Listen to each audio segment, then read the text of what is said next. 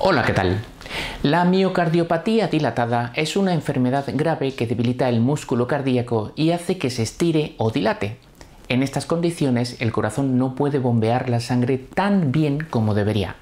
Después de cada latido queda algo de sangre en su interior. Cuanta más haya, más estira el músculo y más se debilita.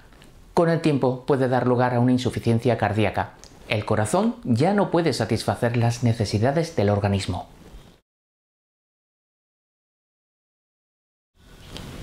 Puede deberse a muchas enfermedades o problemas relacionados o no con el corazón.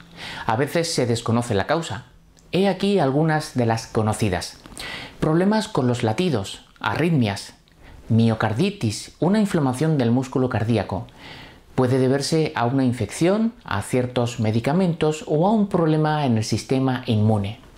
Beber demasiado alcohol, consumir ciertas drogas ilegales como la cocaína o tomar ciertos medicamentos como los quimioterápicos. Exposición a metales muy tóxicos como plomo o mercurio o tener antecedentes familiares de miocardiopatía dilatada. Es posible que al principio no haya síntomas o que sean leves como sentirse muy cansado o débil. Si el corazón se debilita, puede desarrollarse insuficiencia cardíaca que puede dar lugar a disnea, dificultad para respirar, sobre todo con la actividad o al tumbarse, cansancio o hinchazón de las piernas. Estos síntomas pueden aparecer lentamente a lo largo de meses o años o pueden aparecer de repente, por ejemplo, después de una enfermedad vírica. El facultativo preguntará sobre los síntomas y los antecedentes médicos. Querrá saber si se ha padecido alguna enfermedad recientemente y si hay antecedentes familiares de cardiopatía.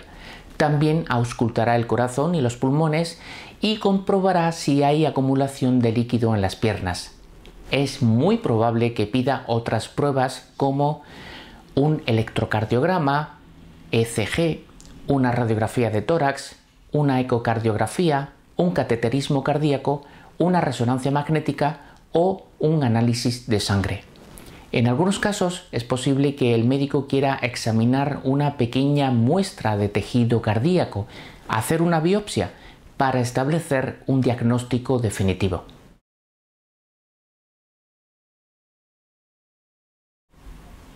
El tratamiento de la miocardiopatía dilatada se centra en aliviar los síntomas mejorar el funcionamiento del corazón y ayudar a vivir más tiempo. También puede tratarse la causa de la miocardiopatía. Es probable que se tengan que tomar varios medicamentos. Entre ellos se incluyen inhibidores de la enzima convertidora de la angiotensina, IECA, o antagonistas de los receptores de la angiotensina 2, ARA. Facilitan el flujo sanguíneo. Diuréticos, ayudan a eliminar el exceso de líquido del organismo. Beta bloqueantes disminuyen la frecuencia cardíaca y pueden ayudar a que el corazón se llene de sangre más completamente. Es muy importante tomar los medicamentos exactamente tal y como están prescritos. De no hacerlo, la función cardíaca podría empeorar.